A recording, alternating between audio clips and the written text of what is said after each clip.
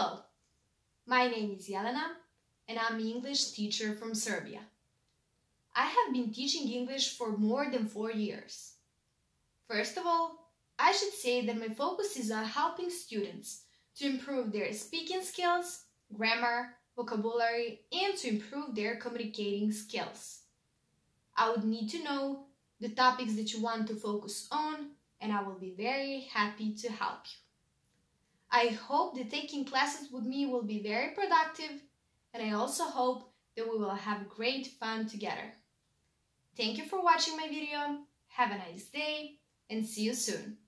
Bye!